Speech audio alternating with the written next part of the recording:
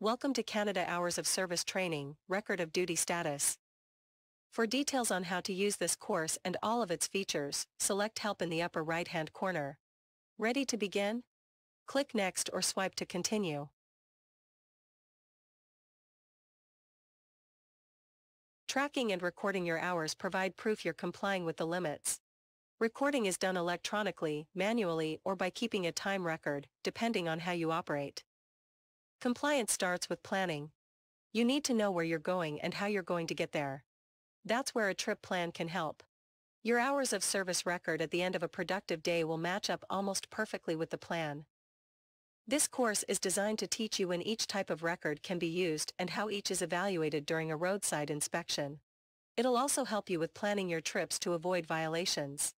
After completing this course, you will be able to describe how to use trip planning to achieve successful time management, explain how supporting documents are used to validate recorded hours, identify when to keep track of your hours using an electronic logging device or ELD, a record of duty status or time record, and recognize how roadside inspection expectations differ between ELDs, a record of duty status and time records. Complying with the hours of service limits does not just happen. It requires proactive trip planning and accurate record keeping.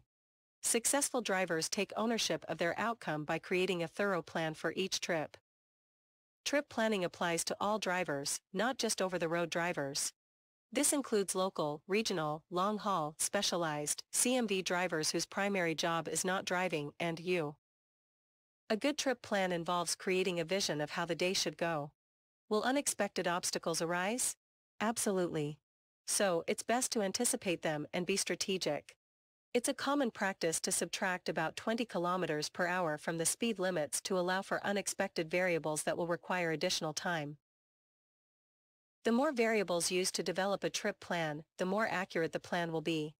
You can plan for things like the weather forecast, plan detours and road construction, common rush hour traffic in larger cities, and established speed limits.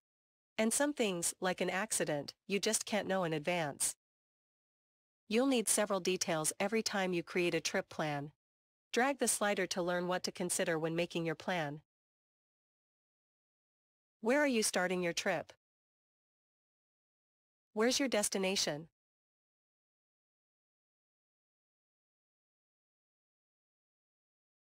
What route do you plan on taking? Don't rely on what the GPS says alone. Will each task take? This may include fuel, work, scales, travel, and traffic. Trip duration. How many hours do you have available? Take overnight parking into consideration when trip planning. Based on current studies, drivers are allowing 30 to 60 minutes to find parking. You may need to end your shift earlier to be certain you do not run too close to the driving or on-duty limits. Hudson needs to determine the total trip duration for his trip plan. He's considering weather, traffic, construction, and speed limits. What should he do to allow for unexpected variables when calculating the total trip duration?